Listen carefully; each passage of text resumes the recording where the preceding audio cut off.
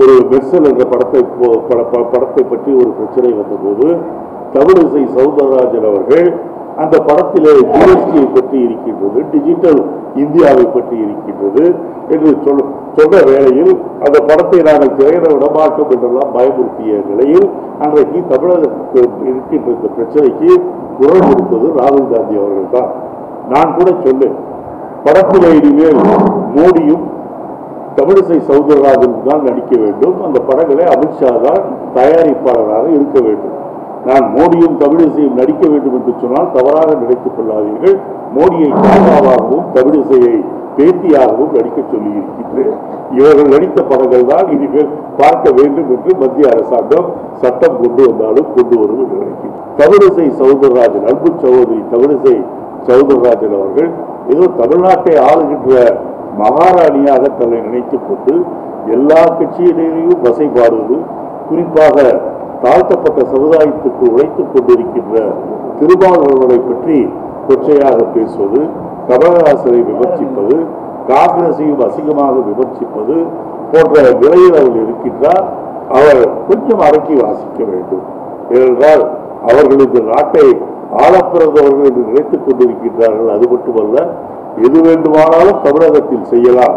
ஏனென்றால் மோடி மேலே இருக்கின்றார் என்று நினைத்துக் கொண்டிருக்கின்றார் கண்டிப்பாக விரைவில் மோடி தேர்தல் வருகின்றதோ இல்லையோ மக்களுடைய புரட்சியால் தூக்கி எறியப்படுவார் என்பது மக்களுடைய மனப்போக்கு இப்போது தெளிவாக சொல்லிக் கொண்டிருக்கின்றது.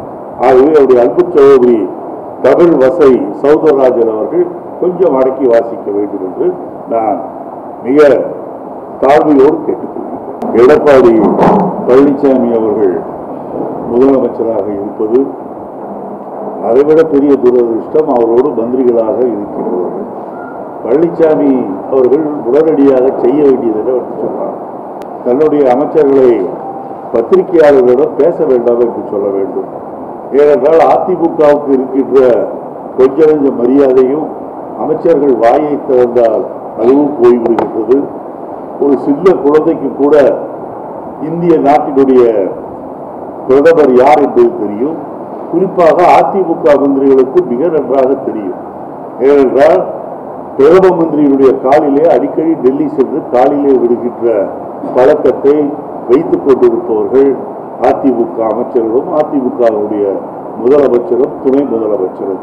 மோடியின் பெயர் அவர்களுக்கு மறந்து போய்விடுகின்றது. நான் டெல்லிக்கு செல்லும்போது கண்டிப்பாக மோடியிடம் முடிந்தால் இதை பற்றி சொல்ல இருக்கின்றேன். ஏனென்றால் அவர் இன்னும் பிரதமராக மன்மோகன் சிங்கை தான் நினைத்துக் கொண்டிருக்கின்றார். அது மட்டுமல்ல ஜெயலலிதா உயிரோடு இருக்கின்ற வரை ஏன் எந்த அமைச்சரையும் பேச விடவில்லை? அவருடைய வாயிலே ஏன் பூட்டை மாட்டி இருந்தார் என்பதற்கு இப்போதுதான் விளக்கம் கிடைத்திருக்கின்றது. யாருக்கும் உருப்படியாக பேசவும் தெரியவில்லை. அவர்கள் சம்பந்தப்பட்ட அமைச்சரவையின் செயல்பாடுகளை கூட சொல்ல தெரியாதவர்கள் தான் இன்றைக்கு அமைச்சர்களாக இருக்கின்றார்.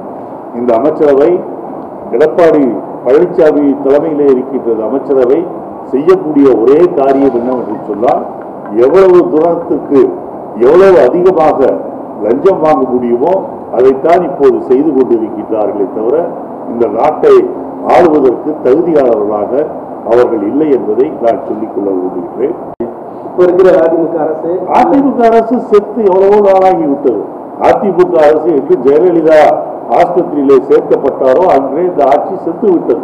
ஆனால் இன்னும் எவ்வளவு நாள் தாக்கு பிடிக்க முடியும்?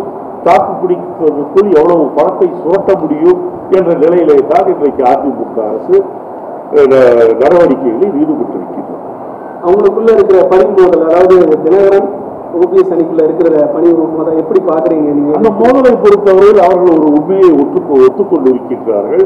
அதிமுகவை சேர்ந்த ஒவ்வொரு அடியும் ஒவ்வொருத்தரையும் நீங்கள் மாமியார் வீட்டுக்கு போவீர்கள் என்று சொல்ல இல்லை இல்லை நீங்கள் மாமியார் வீட்டுக்கு போக போவீர்கள் என்று எதிர்த்திருப்பு சொல்ல ஆக ஒட்டுமொத்தமாக அதிமுகவில் இருக்கின்ற அமைச்சர்கள் அத்தனை பேரும் மாமியார் வீட்டுக்குத்தான் போக லாய்க்காளர்களை விட சொந்த வீட்டுக்கு போகின்ற யோகிதை யாருக்கும் கிடையாது. கமலஹாசனும் ரஜினிகாந்தும் எல்லா தரப்பு மக்களாலும் விரும்பப்படுகின்றவர்கள். அவர்கள் நான் ஏற்கனவே பல முறை சொல்லியது போல ஒரு கட்சியிலோ அல்லது ஒரு இயக்கத்தை ஆரம்பித்தோ தங்களுக்குள்ளேயே ஒரு சின்ன வட்டத்தை போட்டுக்கொள்ளக்கூடாது. அவர்கள் நாட்டில் நடக்கின்ற நிலைமைகளை எடுத்துச் சொல்ல வேண்டும். நாட்டில் நடக்கின்ற கெட்ட விஷயங்களும் எடுத்துச் சொல்ல வேண்டும். அதுபோலதுதான் எல்லோராலும் பாராட்டப்படுவார்கள். இல்லை அரசியலுக்கு வந்துதான் தீர்வோம் என்று முடிவெடுத்தார்களால் அதை பற்றி ஒன்றும் சொல்வதற்கில்லை. காலம் இது சுதந்திர நாடு. யார் வேண்டுமானாலும் கட்சி ஆரம்பிக்கலாம். ஆகவே என்னை பொறுத்தவரையில் அவர்கள் ஒரு குறுகிய வட்டத்துக்குள் மாட்டிக்கொள்ளக்கூடாது என்பதுதான் என்னுடைய அபிப்பிராயம். ஆனால் ரேஷன் பொருள்கள் உயர்ந்திருக்கின்றன சர்க்கரை விலையை கிட்டத்தட்ட எழுபது எண்பது சதவீதம் உயர்த்தி விட்டார்கள்.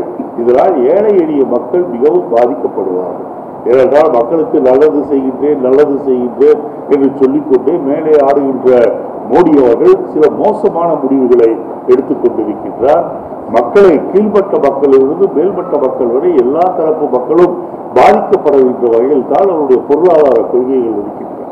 பண நோட்டினுடைய மதிப்பிழப்பிலிருந்து எடுத்துக்கொண்டீர்கள் என்று சொன்னால் இப்போது இருக்கின்ற ஜிஎஸ்டி ஆகட்டும் அல்லது இப்போது ரேஷன் கடையிலே சர்க்கரை விலை உயர்ந்ததாகட்டும் அதற்கு மோடி தான் காரணம். ஆகவே மோடியை பொறுத்தவரையில் மக்களுக்கு நல்லவைகளை செய்வேன் என்று பல வாக்குறுதிகளை கொடுத்து இந்த ஆட்சி பீடத்தை பிடித்தவர் இன்றைக்கு மக்களுக்கு எந்தெந்த வகையில் துன்பம் செய்ய முடியுமோ மக்களுக்கு எந்தெந்த வகையில் தொல்லைகள் கொடுக்க முடியுமோ அதை கொடுத்து கொண்டிருக்கின்றார். விரைவில் அவர்களுக்கு மோடி அவர்களுக்கு இந்த தமிழக மக்கள் மட்டுமல்ல இந்தியாவினுடைய அனைத்து தரப்பு மக்களும் ஒரு மிகப்பெரிய பாடத்தை கற்பிக்க இருக்கின்றார்.